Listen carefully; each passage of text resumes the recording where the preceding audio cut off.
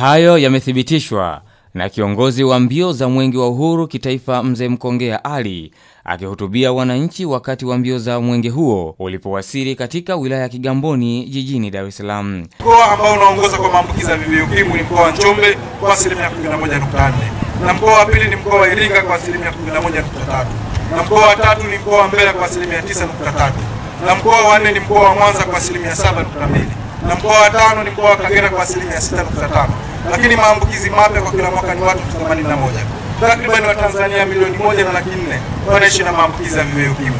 Bado ni changamoto kubwa sana, ndugu wananchi, hivyo tujitokeze kwa wingi kwenda kupima afya zetu. Naibu Waziri wa Afya na mbunge wa jimbo la Kigamboni Dr. Faustini Ndungulile amesema serikali inaendelea kuboresha huduma za afya ikiwemo huduma za kibingwa ambazo zaidi ya asilimia 90 ya huduma za afya zinapatikana nchini. Tunaendelea kuboresha huduma za kibingwa. Tulikuwa tunapeleka wagonjwa nje nchi ya nje ya nchi, lakini sasa hivi asilimia 90 ya Watanzania wanatibiwa ndani ya nchi yetu na tunakwenda vizuri. Tunafanya upasuaji wa figo, tunafanya upasuaji wa vifaa vya kusikia, vya kusikia kwa watoto. Hivi karibuni tunaanza kufanya upasuaji wa ute wa mifupa, lakini sambamba na hilo, wiki hii kuna vijana wangu wanarudi kutoka China, tunataka sasa tufanye upasuaji wa ubongo kupitia katika mshipa wa paja.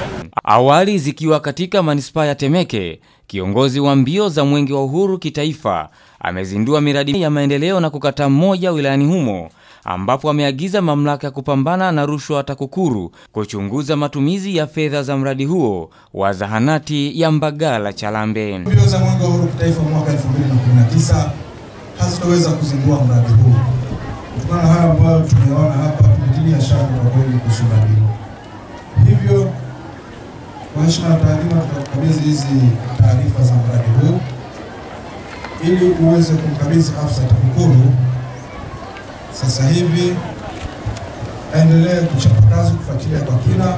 Sisi tumekuja muda mchache, tumeona hayo.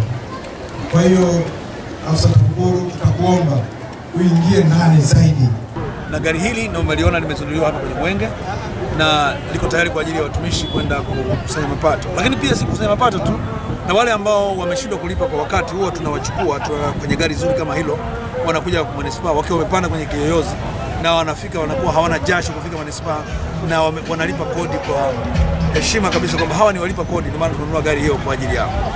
Mbio za Mwenge wa Uhuru Jumatano hii zitaingia katika wilaya ya Mkuranga mkoani Pwani, zikiendelea kuhimiza upatikanaji wa huduma za maji na kuhamasisha wananchi kushiriki katika uchaguzi wa serikali za mitaa baadaye mwaka huu.